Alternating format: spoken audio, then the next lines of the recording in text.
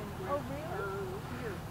And they were, they were cubs, they were real small, Oh, so how long ago was that? probably six years ago. They were babies. Uh-huh. The lady told Here you can see the other one coming up now. six years ago. About six, deer over there with the, the bears eat the deer. And then there he goes again back behind the Last logs. year, they did have deer on this side, the orphan deer, Yeah. or, or orphan moose, I mean.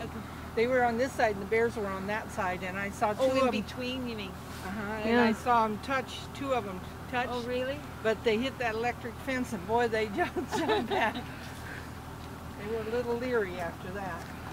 But there's one black bear sitting there in the mud.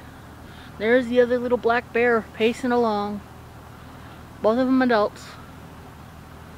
Yeah, I'm Oh, pre- he's. Okay, you're having Oh. a stretch. Ooh, yeah. He heard me say how he was rolling in the mud. Uh-huh. Decided to be a ham. John, look, he's rolling in the mud. He's having such fun. he's got one leg up in the air, scratching his belly.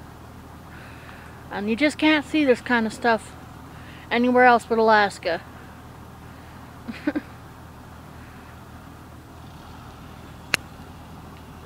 backyard.